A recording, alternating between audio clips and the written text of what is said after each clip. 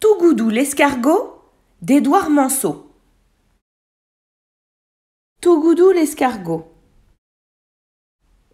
Tiens, tiens, voilà Tougoudou l'escargot.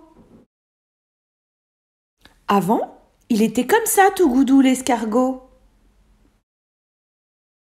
Un matin, il a découvert un joli jardin.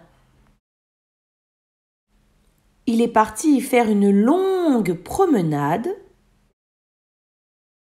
Mais il s'est perdu.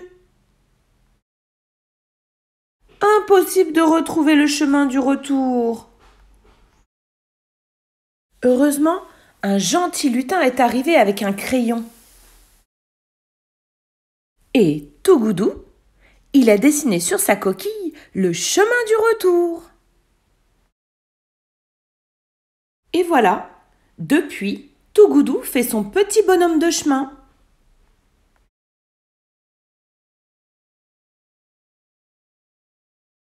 C'était Tougoudou l'escargot dans la maternelle magique. N'hésitez pas à cliquer sur mes autres vidéos et à vous abonner.